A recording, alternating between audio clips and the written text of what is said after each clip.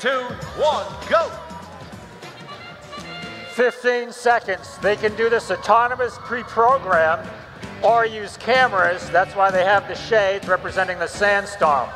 So it's two points for the hatch, three for the cargo, if they can successfully get it.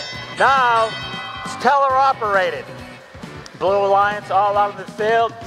2493, 7447 both have hatch panels that are 19 inches in diameter attached by Velcro to the cargo ship or the rocket ship.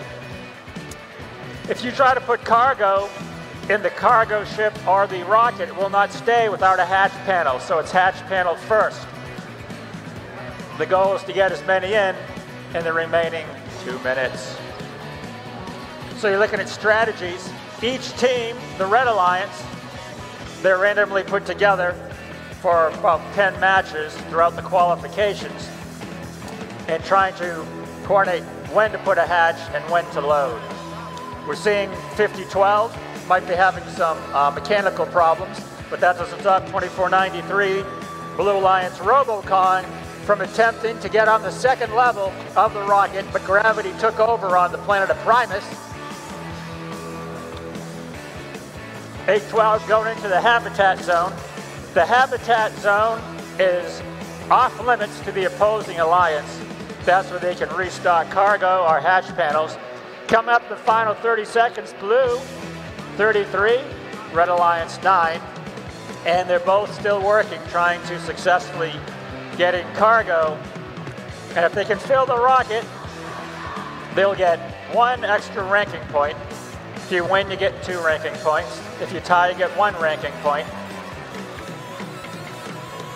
And coming up is the warning for the end game.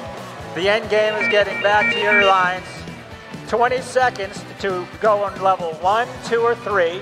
If you can get up to the highest level three, it's 12 points. Level two is six. Level one is three. And if you get 15 points in the end game, you get a ranking point. Two of blue are on, one, two of red are on, and we're coming down to the final five seconds. Four, three, two, one, launch.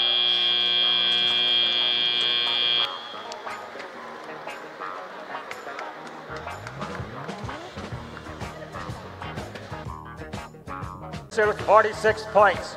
They earned two ranking points for the win. Red Alliance had 12. Congratulations to both alliances for qualification match two.